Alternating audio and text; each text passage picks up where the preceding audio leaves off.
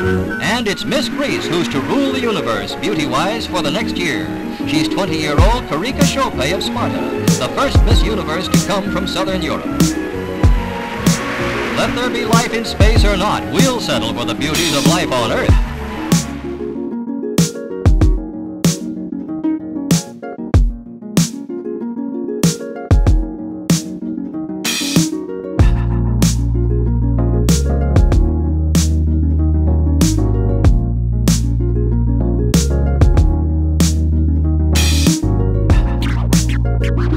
We'll be